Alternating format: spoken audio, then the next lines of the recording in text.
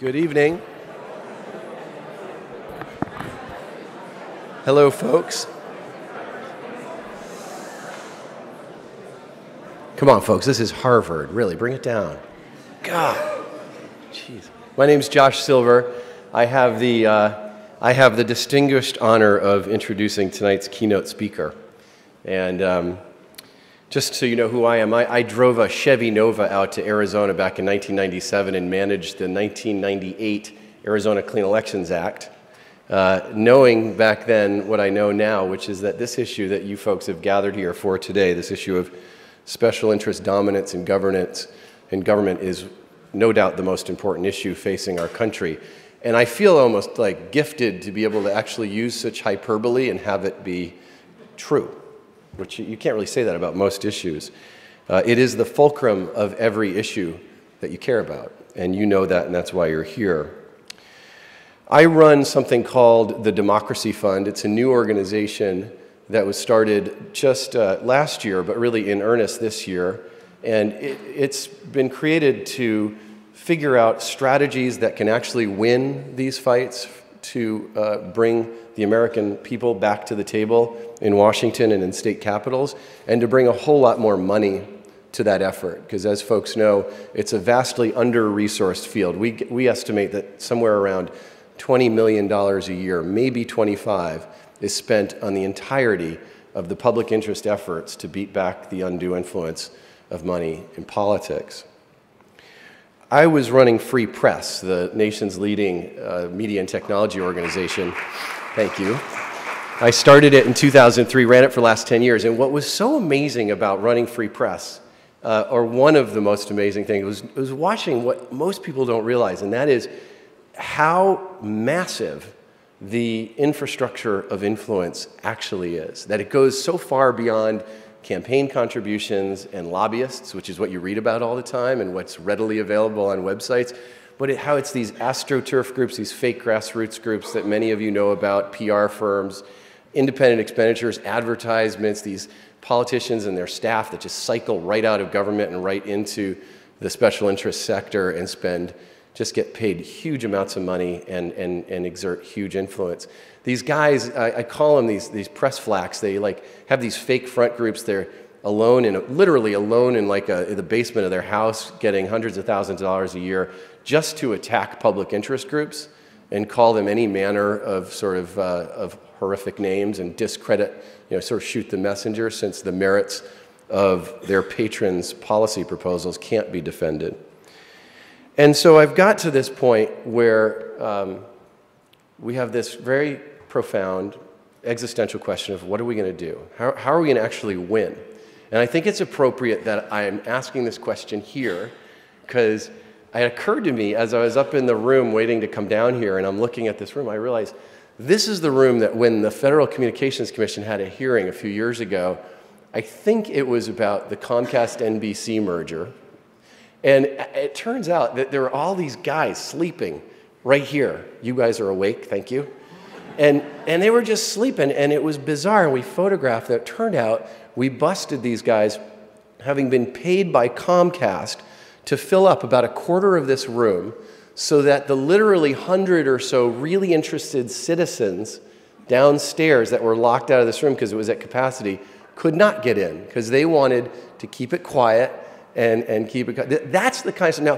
Who do you think Comcast paid them to get in here? No, no, no. Comcast paid a firm, some kind of public relations firm, that then paid some other maybe C3 or C4 organ, public interest organizations or I should say nonprofit. They could have paid another one. It works in these, it's like a consultant, and then eventually it gets to that. And that just kind of demonstrates. So it's appropriate that we're in this, this room today.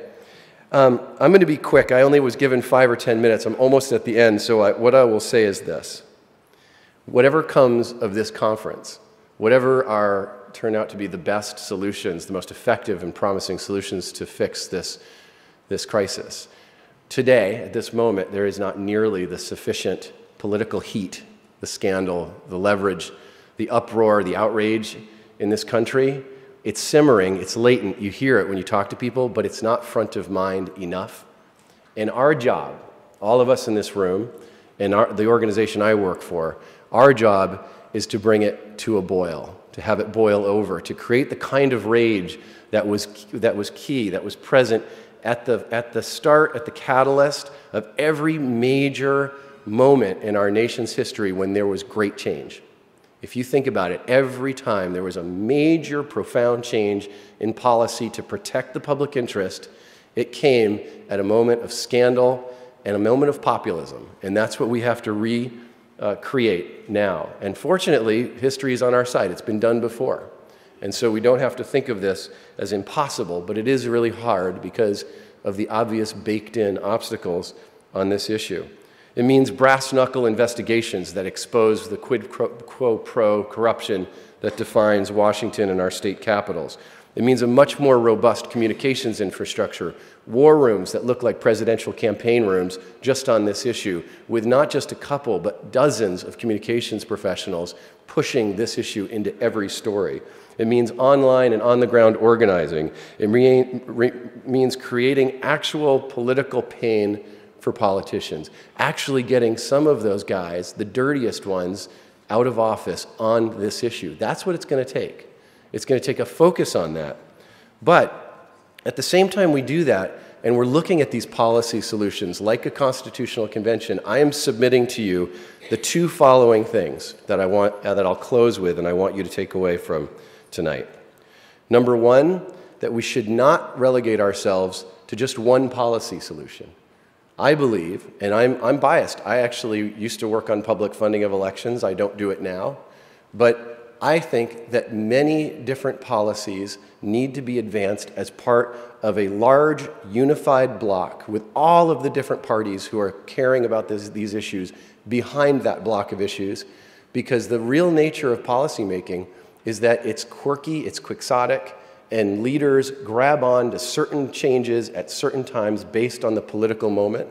And we have to create a menu so that when we get the train of corruption moving fast enough and they are forced to break the glass and pull that lever, that that lever takes the form of a broad range of policies that reduce the undue influence of money in politics, that increase voter participation, that improve the functionality and integrity of elections and the legislative process, that reduce special interest influence over the judiciary, and that increase corporate accountability and transparency. I'm going to quiz you on that. But the second thing that I'm going to leave you with is the truism that tonight's keynote speaker has known since he bravely joined this fray uh, a couple of years ago, I believe. Time flies. And that is that there's no way that this is going to happen unless people on the left and people on the right agree to put down their disagreements and leave them aside and focus on what we agree on, which is that government is broken, that it can be better, that special interests are running the show, and they can't and shouldn't if our democracy is to survive. Larry Lessig has known this from, since the day he got into this, this movement. He has been its most articulate speaker and one of its most effective leaders, and I'm honored to introduce to you Larry Lessig.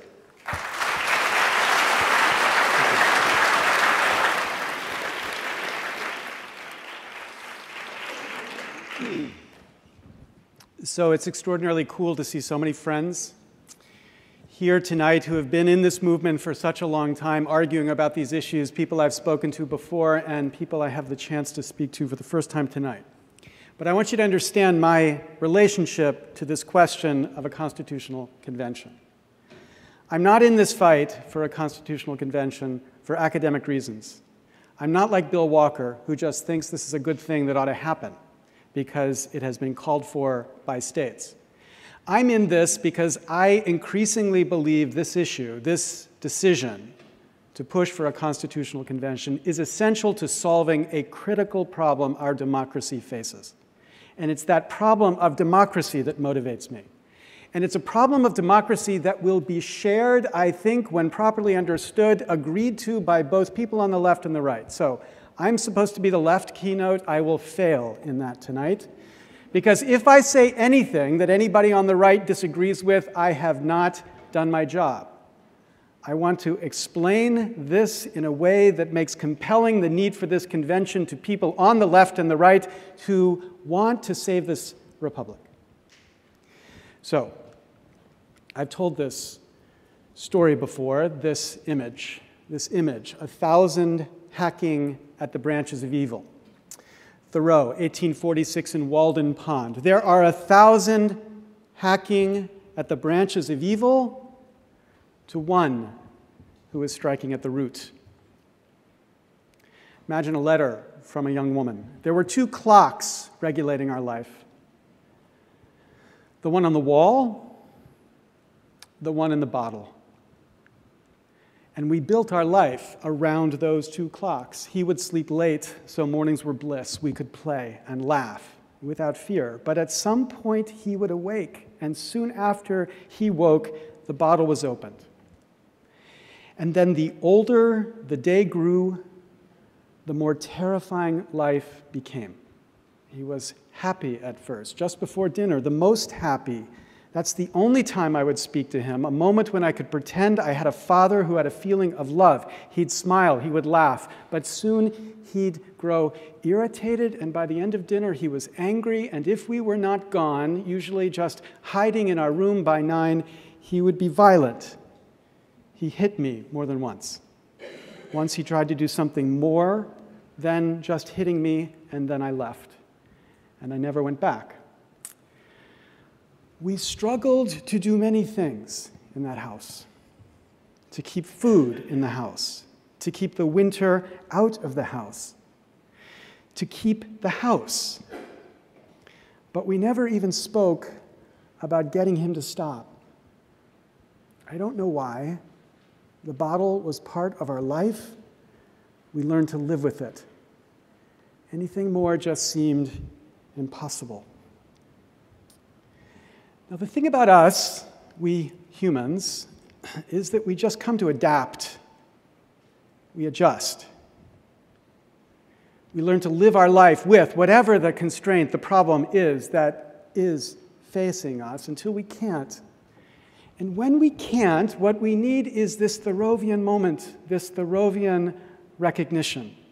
The recognition that though there are a thousand branches of evil that we can spend our life hacking at. We have to find the roots. We have to become root strikers. So there is this feeling among too many Americans today that we just might not make it. Not that the end is near or that doom is around the corner, but that a distinctly American feeling of inevitability, of greatness, culturally, economically, politically, is just gone, that we have become Britain or Rome or Greece. Generation ago, Ronald Reagan rallied the nation to deny a similar charge by Jimmy Carter. Jimmy Carter's worry that our nation had fallen into a state of malaise. I was one of those people so rallied, and I still believe Reagan was right. Because the feeling I'm talking about today is different. It's not that we as a people have lost anything of our potential, but that we as a republic have. That our capacity for governing, the product in part of a constitution that we have revered for more than two centuries, has come to an end. That the thing we were most proud of, this, our republic, is the one thing that we all have learned to ignore. Government is an embarrassment. It has lost the capacity to make the most essential decisions, and slowly it dawns upon us that a ship that can't be steered is a ship that will sink. This is not a Democratic or a Republican point. This is a multi partisan frustration. This view that this government doesn't work is a view shared by people across the political spectrum. Indeed, the only institution in our republic that has a majority of Americans with confidence in that institution is the one non democratic institution in our republic. There are many issues that signal to us the failure of this government, many issues on the left and the right that are systematically blocked by this system. And I want you to look for the root in this blockage, the Thoreauvian cause. Now, to get you to see that, I need to brainwash you a bit, so that's what I intend to do here. Um, some examples that will bring you around to this Thoreauvian recognition. You've seen, many of you have seen some of these examples before. Let's go through them. So, for many years, indeed, beginning in this room, I became an activist around copyright. October 27, 1998, when Congress passed and the president signed a statute honoring this great American, Sonny Bono, the Sonny Bono Copyright Term Extension Act, I became an activist. This is a statute that extended the term of existing copyrights by 20 years. And the question Congress was to ask when they passed that statute was did it advance the public good? Now, copyright, of course, is a monopoly we give to authors to give them the incentives to produce great work. It's an essential part of the creative process. But the thing about incentives is that, at least in this universe, not Star Trek's universe, but this universe, incentives are prospective. No matter what the United States Congress does, George Gershwin will not produce anything more. So when we challenged this statute in the Supreme Court, we got a bunch of economists, including this left winger. Oh, I'm sorry, wait, this is Milton Friedman, right wing, Nobel Prize winner of economics, who agreed to sign the brief challenging this extension only if the word no brainer was in the brief somewhere. So obvious was it that you could not extend the public good by expanding the term in existing copyright. But apparently there were no brains in this place when Congress unanimously extended the term of this existing copyright. What there was was more than $6 million from Disney and its affiliates supporting this extension of existing terms that would benefit it primarily and many other of these famous copyright holders. Here's another example. This is a picture of a 15-year-old boy. It's a picture of an epidemic an obesity epidemic sweeping our nation. Three times the number of children today are uh, obese as in 1980. Of children over the age of two, more than one third are technically obese. This epidemic has costs. How striking is the rise of type 2 diabetes, a kind of diabetes that typically afflicted old people only. Now, in some communities, one half of all new cases are cases with kids costs our society, according to the Center for American Progress, $147 billion annually to deal with this problem. Why do we have it? Well, in part, it has to do with what we eat. There's a consensus among people who know something about the matter. We eat too much of this stuff, not enough of this stuff, and not technically sugar. What we eat too much of is something that we didn't consume at all in 1980, but now is in 40% of the products in your supermarket high fructose corn syrup. So, why is that? What explains this explosion of this sugar substitute? Well, in part it's because sugar's so expensive, corn is so cheap. And the lovers of the free market say, well, them's just the breaks. If that's what the market demands, then this is the way we have to order our economy because the market is signaling where efficient allocation of resources should go. But it's not quite so simple, this story. Sugar is so expensive in America because tariffs protect the domestic sugar industry, giving them about a billion dollars in extra profits, costing the economy about $3 billion in inefficiency because sugar costs between two and three times the price of other comparable developed nations. And corn is so cheap in the United States because it's subsidized by the government. $74 billion in the last 15 years, leading some economists to calculate the cost of producing corn is actually negative. Now add sugar to corn, and you begin to understand the radical shift in the cost of food. So, over the last period, 1997 to 2003, the cost of vegetables went up by 17%. The cost of a Big Mac went down by 5.4%. The cost of a bottle of Coke went down by 35%. And you begin to see a radical reason for a radical shift in how food gets made. Sure many here saw this extraordinary film, Food Inc., which tells a story about how, because corn is so cheap, it's profitable to feed cattle corn rather than have them graze on grass. Not so profitable for the cows, because of course cows' stomachs don't digest corn. It just stews in their seven stomachs. And as it stews, it begins to breed an extraordinary range of bacteria calling for antibiotics that have to be fed literally in the tons to these cows, which of course breed out a plentiful supply of antibiotic resistant bugs. And if this were a film, we'd cut to a story about a four year old boy who ate a hamburger and died because of the poisons that came through that food. All of this because corn is so cheap and sugar is so dear. So, what explains such anti free market silliness?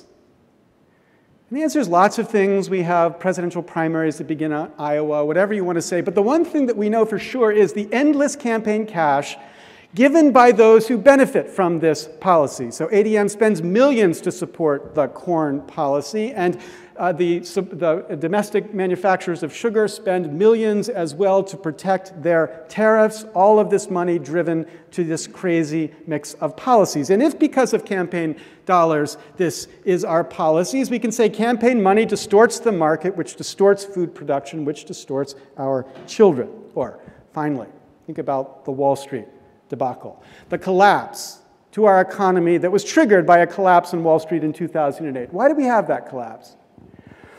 Well, according to the story Simon Johnson and James Kwak tell in this book, 13 Bankers, in part it's the product of a perverse mix, both too little government and too much government.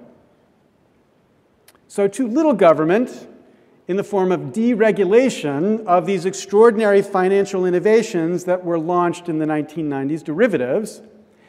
Innovations that were invisible to the market because the rules did not require that trades of these financial assets be reported in the way that all other financial asset trades had to be reported.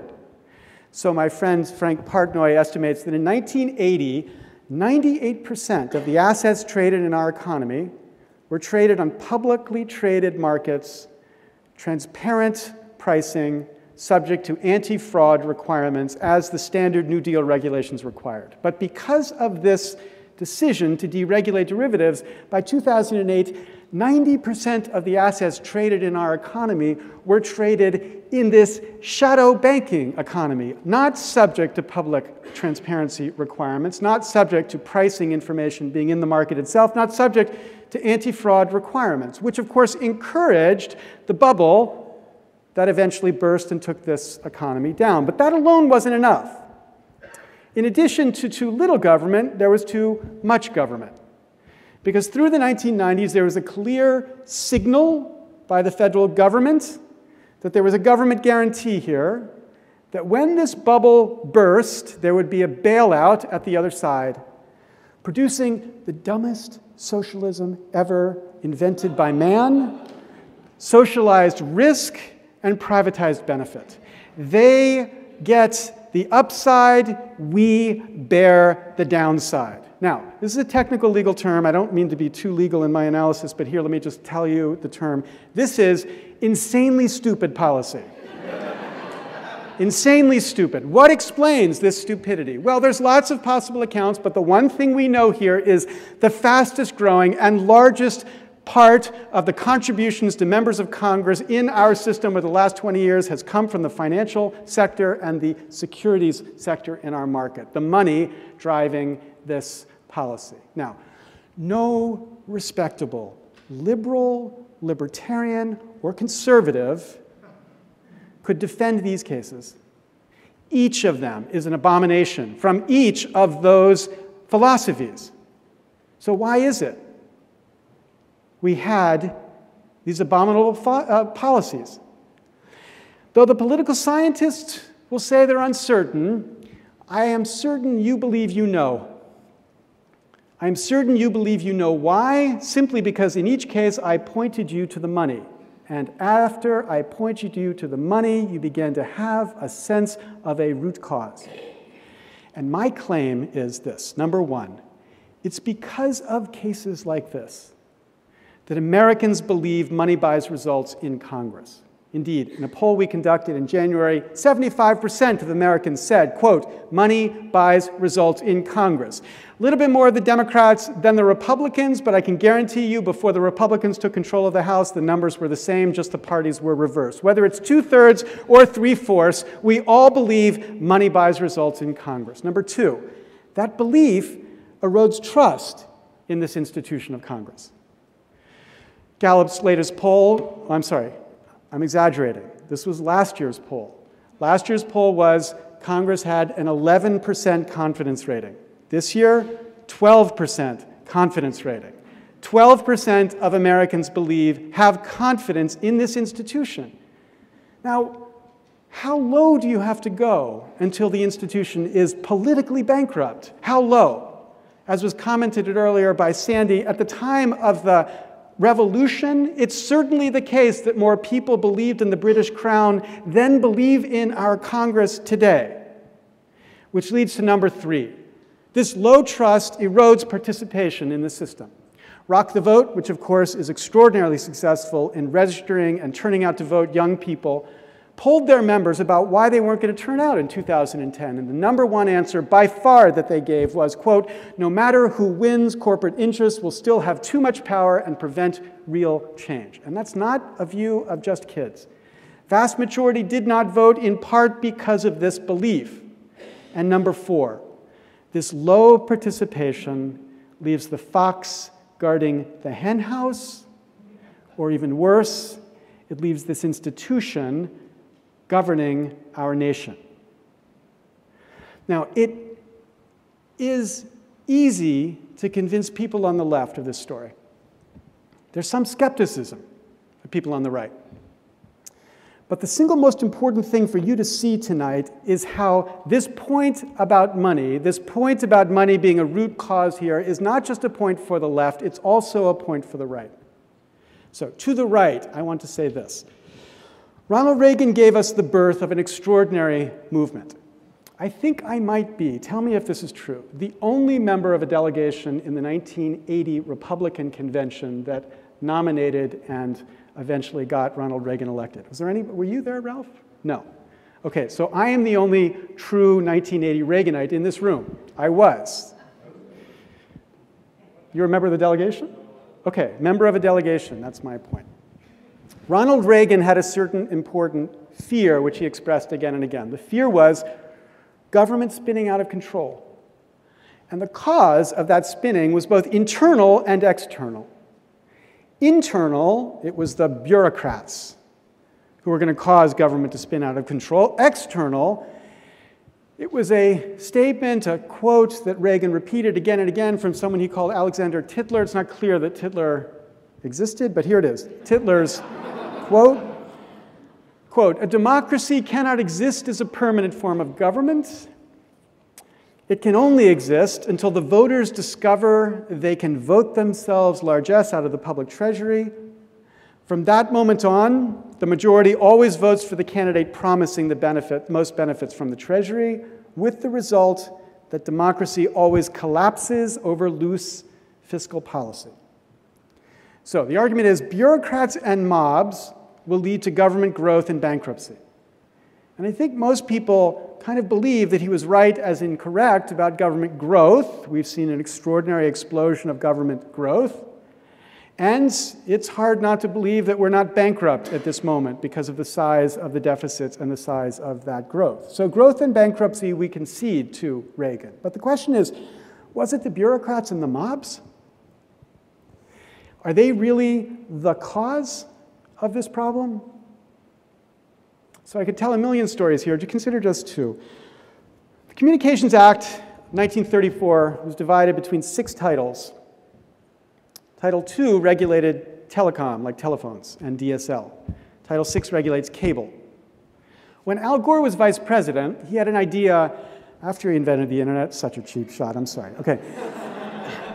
he had the idea to take the internet related parts of Title II and Title VI and put them into a new title, Title VII.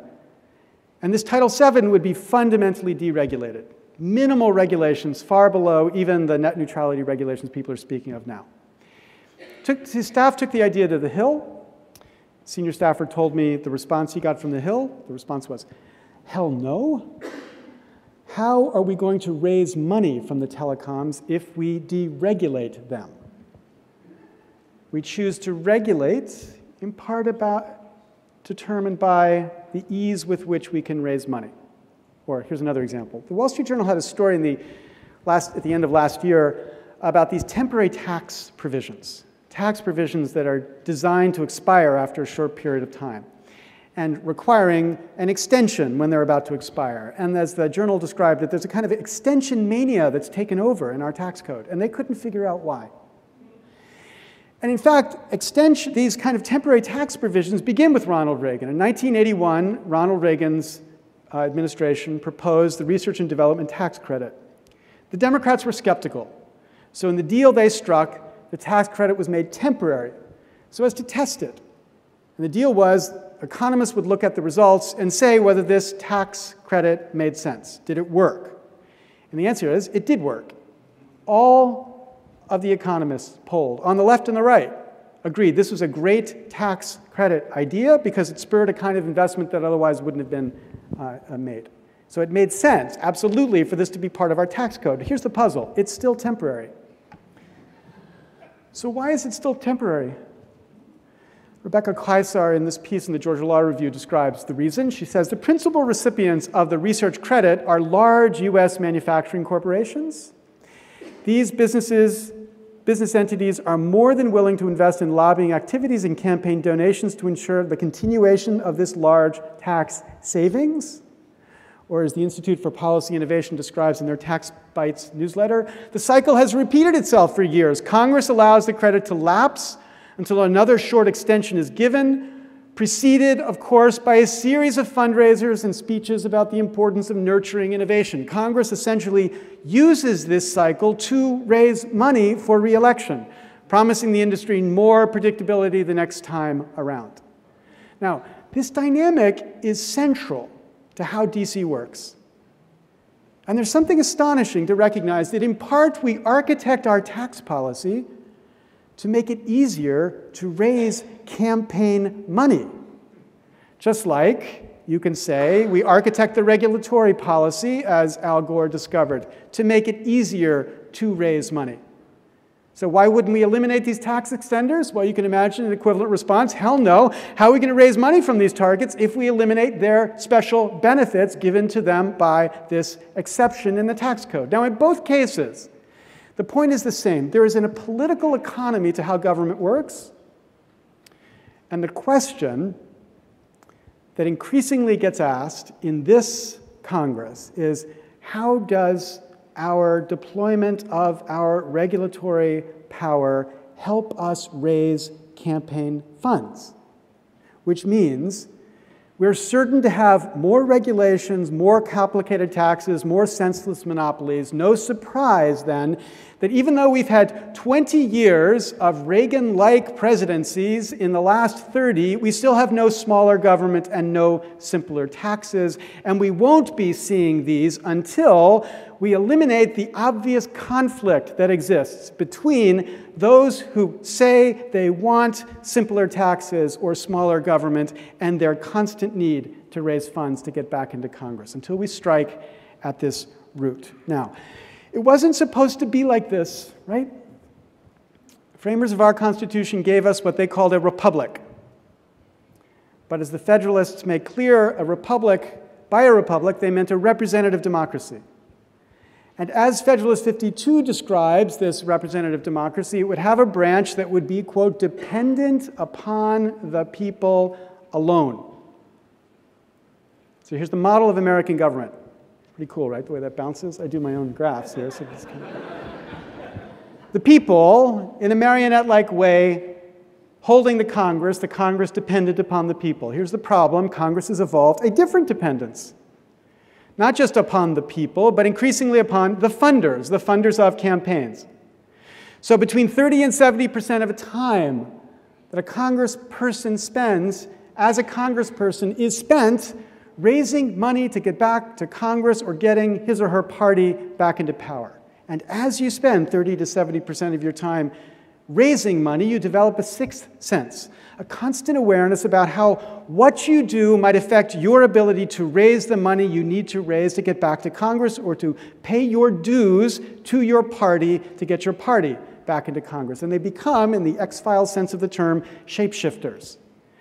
They begin to alter who they are to make sure they are able to raise this money. So Leslie Byrne describes that when she went to Congress, Democrat from Virginia, she was told by a colleague, quote, always lean to the green. And then she clarified, he was not an environmentalist.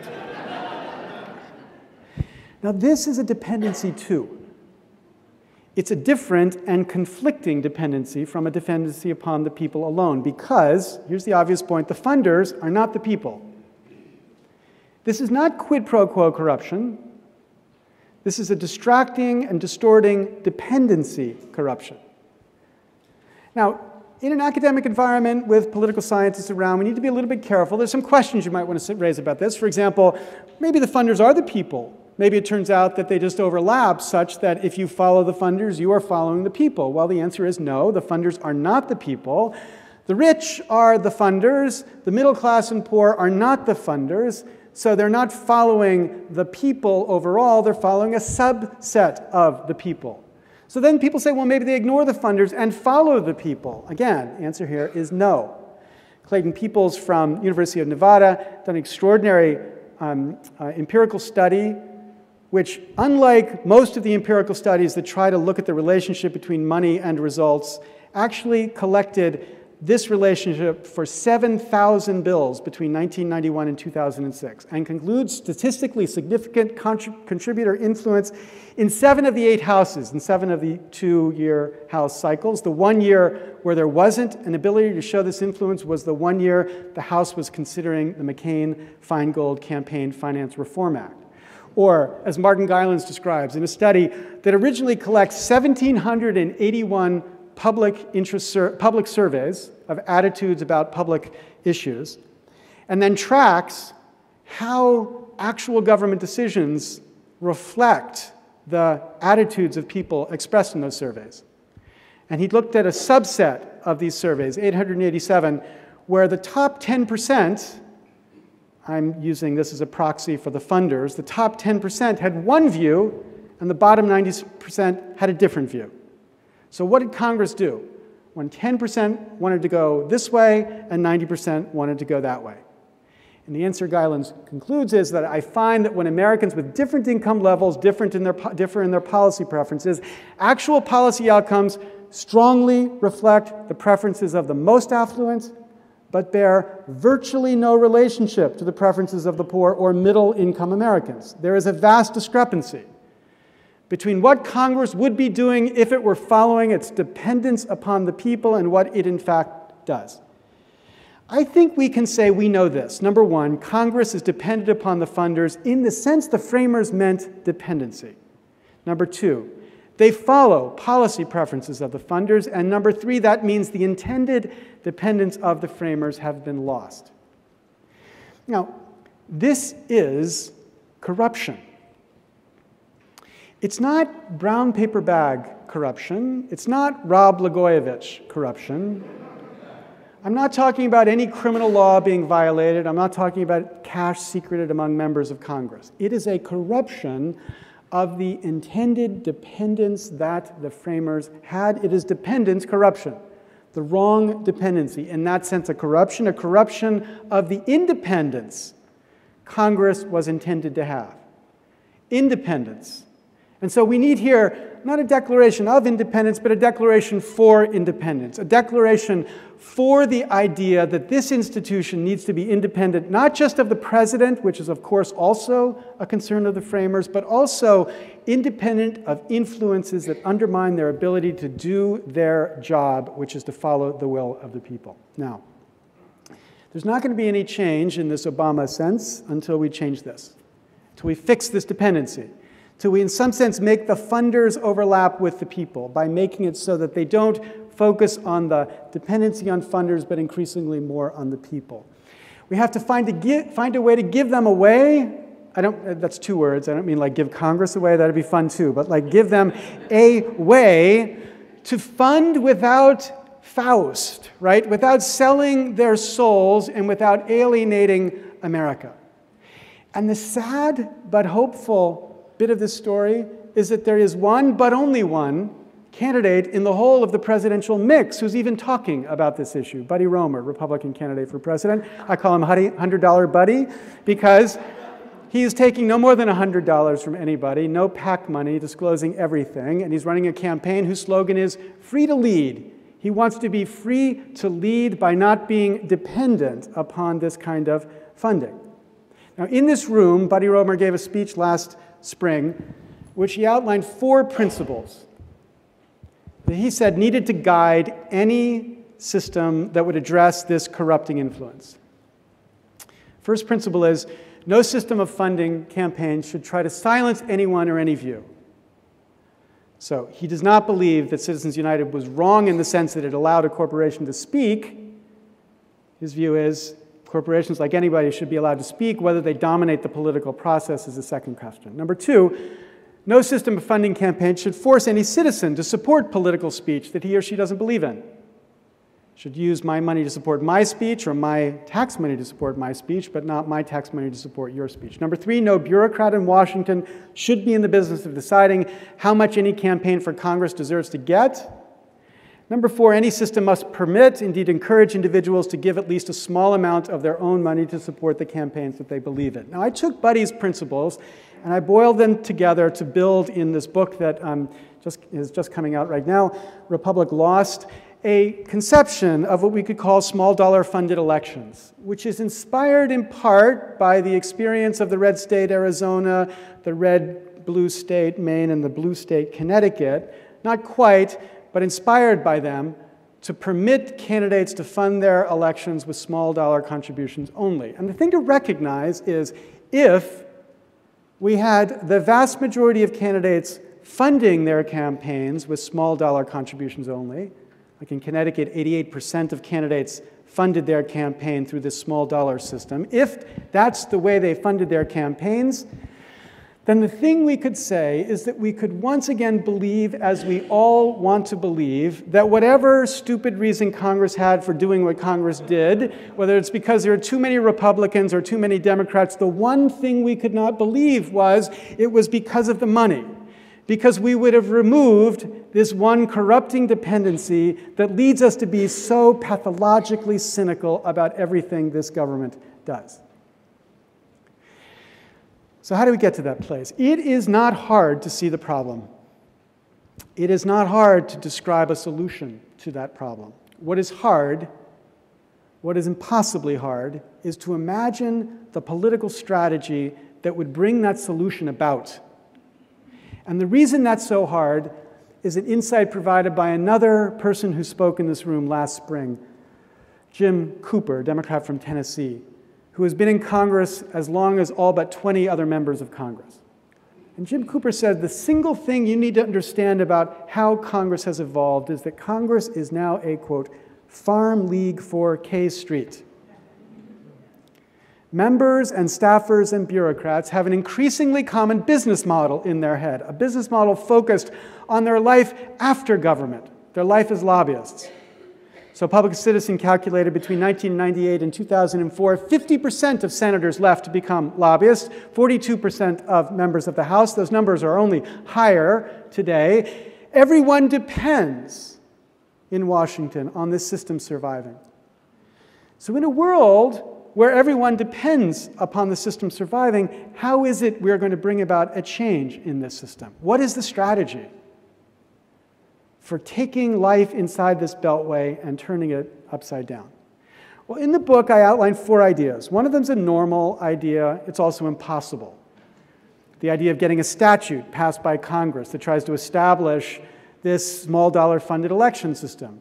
I fight for that statute. I fought for it when Congress came close to passing it, but I think there's no chance they pass that statute because of this insight that they depend upon this system to survive, not just for their current life, but for their future life. So, in addition to that one sane but impossible idea, I describe a series of insane ideas, but just improbable, each of them. And some of them are so insane, I'm not even going to tell you about them because I'm kind of embarrassed by just how insane they are. But the thing about all of them is that they are all ways around the cancer that is this beltway, the cancer on the way this government functions. The one strategy that we have been talking about today is the strategy of the Constitutional Convention. Article 5's provision of the option for citizens to get their legislatures to call for a convention.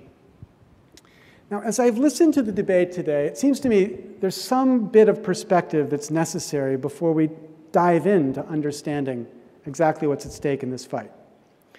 We need to recognize first there is a constitutional convention in existence right now. Here it is.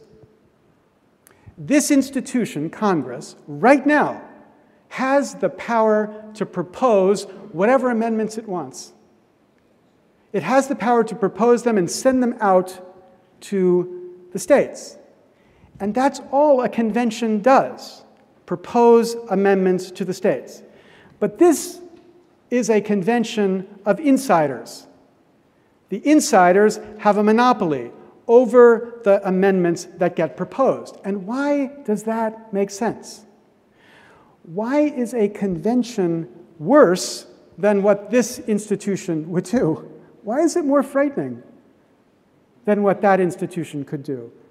And why is there not trust, at least as much, for what we, the people in a process of facilitating a convention, could do as that institution would do. Indeed, if that institution has a 12% confidence level, what do you have to say about us if you say that you trust them more than us? Right? Now, the argument for a convention here, yeah, thank you. The argument for a convention here, I think, has a number of parts. Number one, as many people through the day have tried to insist, what we're talking about here is an Article 5 convention not a constitutional convention.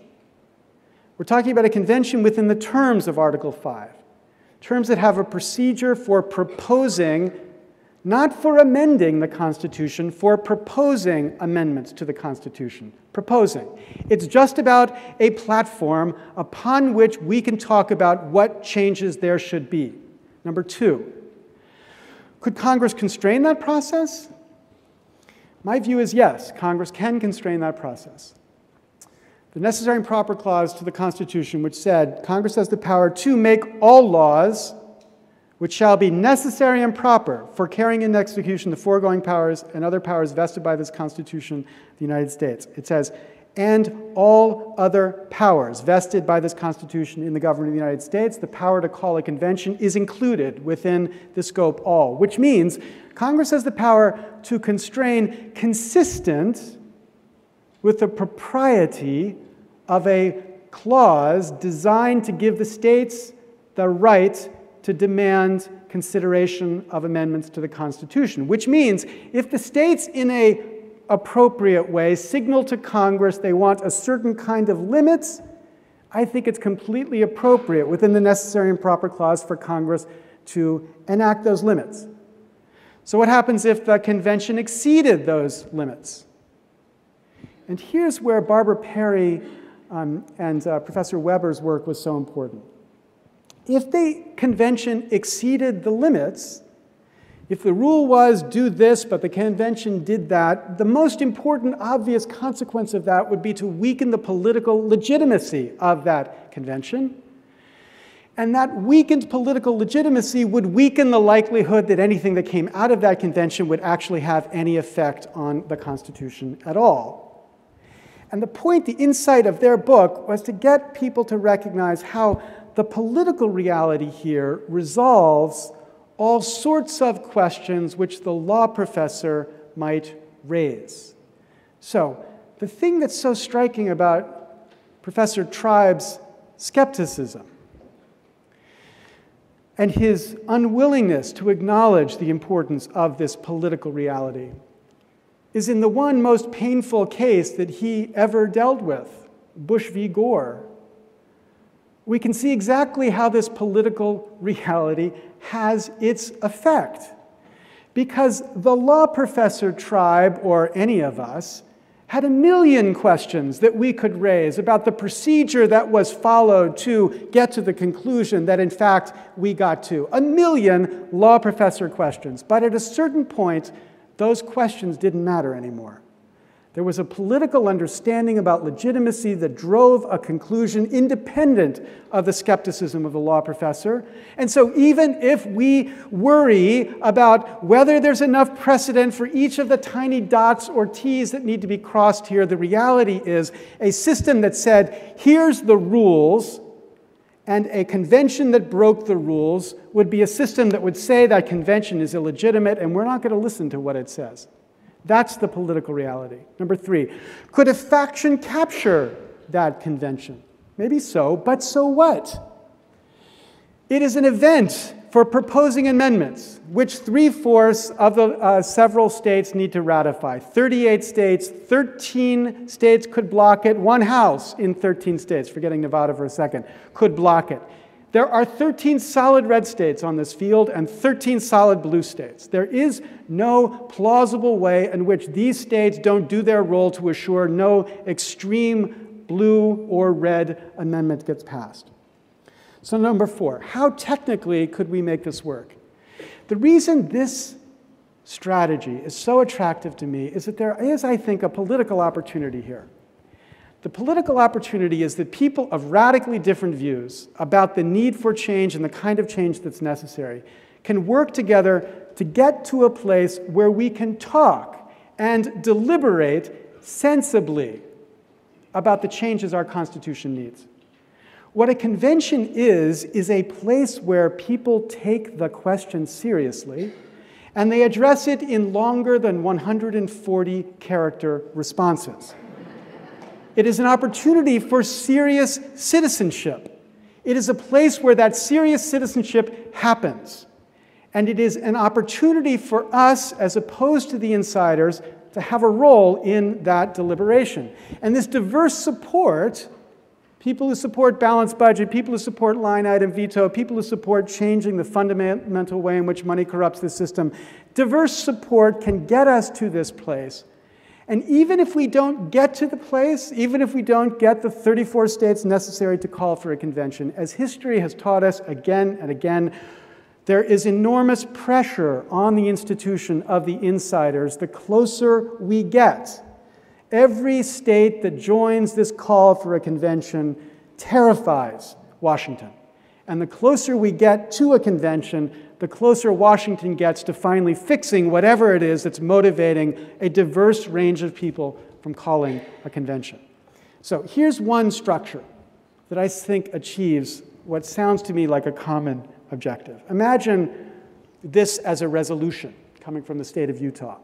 State of Utah, speaking through its legislature pursuant to Article 5 of the Constitution, hereby petitions the United States Congress to call a convention for the purpose of proposing amendments to the Constitution of the United States of America. That clause one is a full, simple call for a convention, completely unambiguous for purposes of Article 5. Then, clause two. Furthermore, Utah would propose that the convention consider amendments to strengthen the veto power of the president for, by example, among other possible solutions, giving him a line item veto authority. That's an expression of their preference. Number three, Utah requests that its proposal notwithstanding, Congress restrict the agenda of the convention to considering only those matters enumerated by at least 40% of the states calling for a convention. So you say, here's what we care about, but we also care to be in a convention where only substantial issues will be considered. So we say, restrict it to those things that have 40%. And here's the part that's most important to me Utah requests that Congress exclude from eligibility as delegates to the convention any current member of Congress. I would also say, yeah, you have to swear not to become a member of Congress for at least 20 years to be anything to do with this uh, uh, delegate. Okay, now, this is technically enabling no ambiguity about whether such a set of provisions enacted by 34 states would, uh, would make it impossible without revolution, in my view, to force this convention and politically limiting in the sense that it sets political boundaries that everybody could understand enough to say that if this convention ran away from those boundaries, there's something wrong with the convention. Now, is it still dangerous? Well, there's one part of this question is it dangerous? Which I kind of think of is it dangerous to rely upon a process which is essentially a we the people process? And despite my pedigree at this institution, I am a populist about this question. I say, you question we the people, I say, WTF in response to you. WTF in response to you.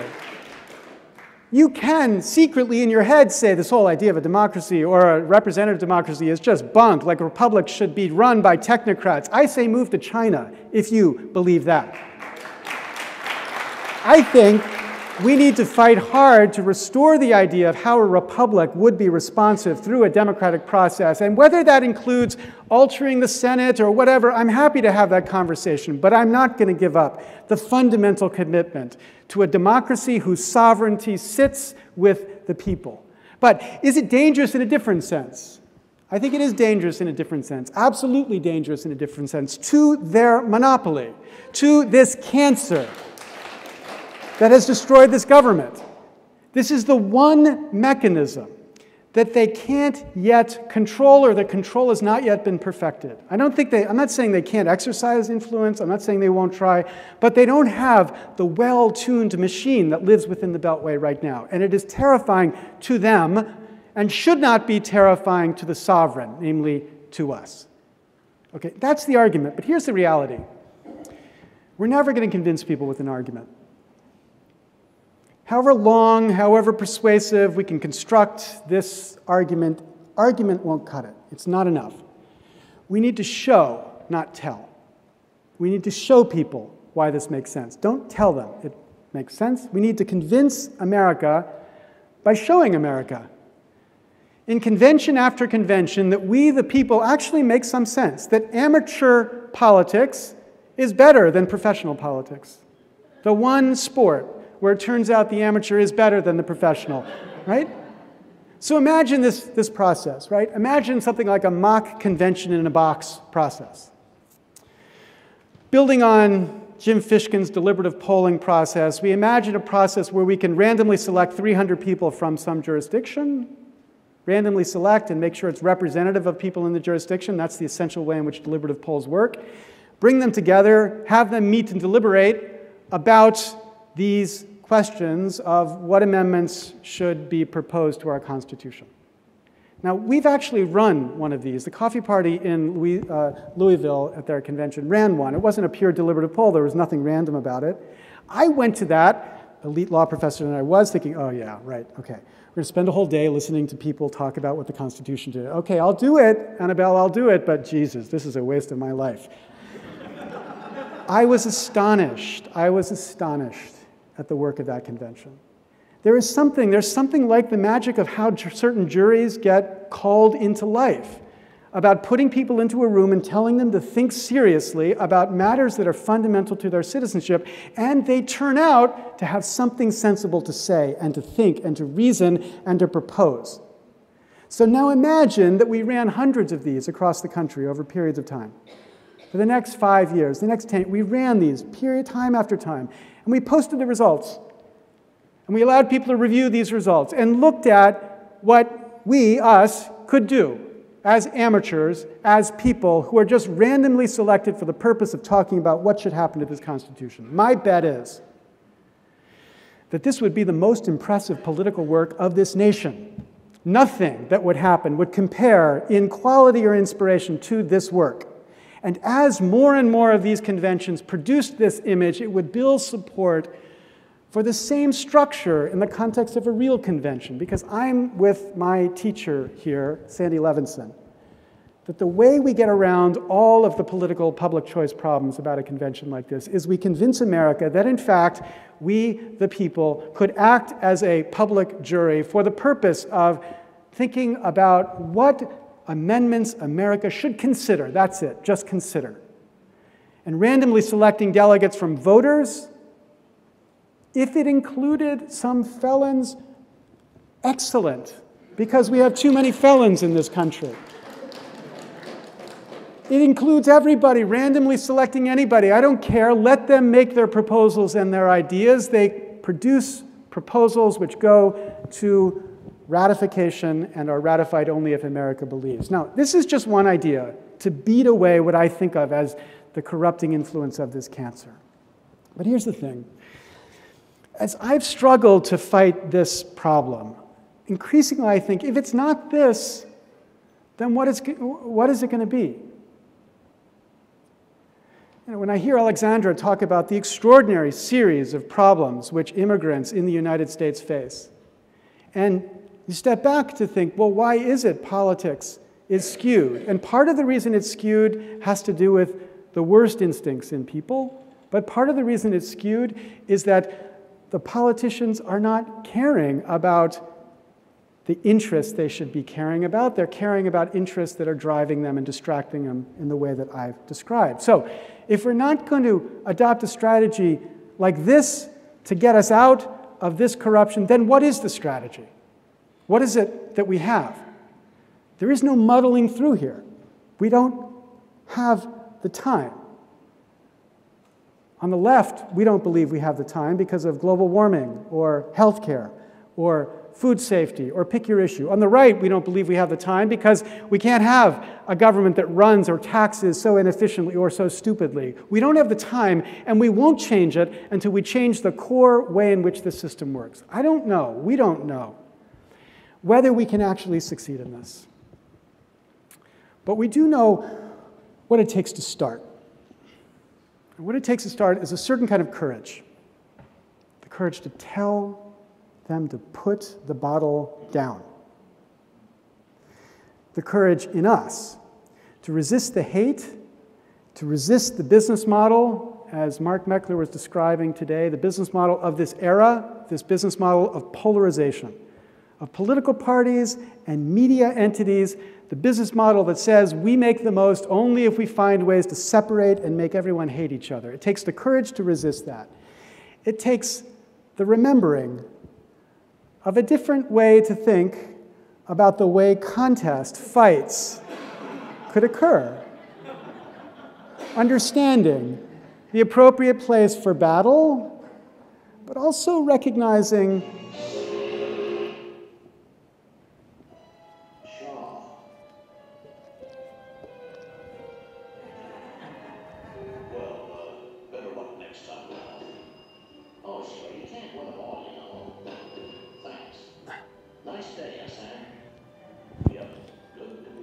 recognizing there's a need for us to step off stage, step off stage and work together to produce the kind of democracy that could work for either side when they're lucky enough to win.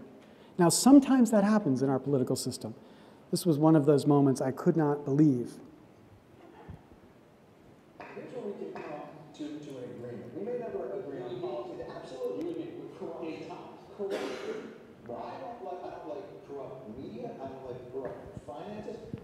willing to do it, but all the, what, what are the, the, the, the right wing uh, tort reform and you get to buy insurance in different states? All that stuff's fine. When are we going to come together and deal with the corruption at the heart of all these problems? Listen, I'll, I'll, I'll align with you. It'll be the O'Reilly Stewart Man shall not ally with other men. Is that right? I believe. You are a scriptural man. I've read Leviticus. Oh, but you, you know why?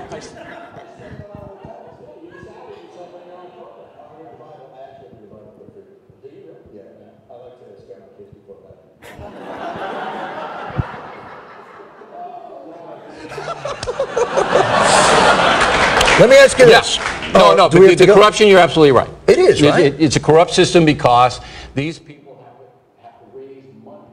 And they got, you know, they, everybody coming in and saying, we'll give you this, but you got to do that. And it is like an industrial complex between uh, the government, these lobbyists, the, the, the media. Look, everybody's different. You don't generalize like that. But they, they spend so much time raising money and kissing butt mm-hmm. that they don't even think about problem solving. But it cuts both ways. I mean, the liberal pinheads are just as bad as the right wing pinheads. The liberal ones just as bad as the right wing ones. The liberal pinheads just as bad as the right wing pinheads. Look, if it's possible for these guys to agree about the fundamental problem that is facing this nation, the corruption that comes from this structure of financing and funding our government, if it's possible, if that's possible, I think a convention is possible. And if a convention is possible, I think we have a chance to repair this divided house. It's repeated today already. Story of Franklin walking out being carried out from the convention. As he's carried out from the convention, a woman approaches him and says, Madam, he says, Mr. Franklin, what have you wrought? And Franklin responds, A republic, if you can keep it. A republic, a representative democracy, democracy dependent upon the people alone. We have lost that republic. And we all together need to act in this way to get it back. Thank you very much.